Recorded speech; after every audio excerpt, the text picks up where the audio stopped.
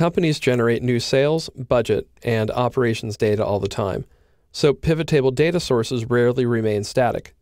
In this movie, I'll show you how to manage your data connection to ensure your pivot table contains the most recent data available.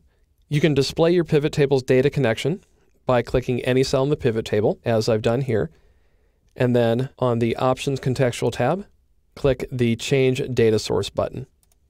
When you do, the Change Pivot Table Data Source dialog box appears, and in this case, you can see that this pivot table draws its data from a table with the name of firm data. If you want to change the data source, you can select a new data source within the workbook, but notice that the Use an External Data Source option is grayed out. The reason that's the case is because you can change a data source to another one of the same kind. That is, you can swap one internal data source for another or one external data source for another, but you can't change from one type of connection to another. If you want to use external data for a pivot table, when you've already created it using internal data, then you will need to create a new pivot table instead of editing the current one. Now let's go back to the pivot table that I displayed earlier. So I'll click Cancel. This pivot table draws its data from an Excel table. And one of the major benefits of using an Excel table as your data source is that when you add a row to the table and refresh the data connection, the new data appears in the pivot table automatically. So the data for this pivot table is on the table data worksheet.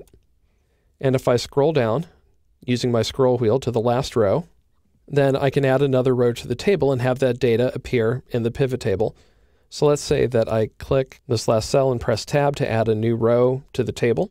And then we'll put in data from 2011. So it'll be 2011, quarter one, month of January for firm A. And then for revenue, we'll just make it 200 so it stands out from all the other data and press enter.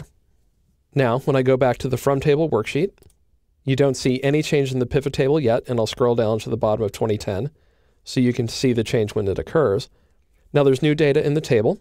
So if I click the Options Contextual tab and then click the Refresh button, the data that I just added to the Excel table appears in the pivot table automatically. By comparison, if you build your pivot table based on a data list as opposed to an Excel table, then that data does not appear when you refresh the connection. So I have another pivot table on the From List worksheet. It's exactly the same table based on the similar data. And this data is on the List Data worksheet. And you'll notice that this is simply a worksheet list. It hasn't been turned into an Excel table. If I use my scroll wheel to scroll down, and then in the next available row, type in the exact same data we had before, 2011, quarter one, for January, firm A, and then revenue of 200, and press enter. If I go back to the pivot table on the from list worksheet, and I'll scroll down using my scroll wheel again, then on the options contextual tab, click refresh, nothing happens. What I need to do is update the data source manually. So to do that, again on the Options tab, I can click the Change Data Source button, and then you'll see the definition here in the Table slash Range box. I added another row, and that increments a number. So now instead of having the table or range end on cell E49, it actually ends on cell E50. So I'll backspace over the 49, type in 50, click OK, and now you see that the pivot table updates to reflect the new definition. Whenever I view a pivot table, I always click the refresh button to include any updates to the data source.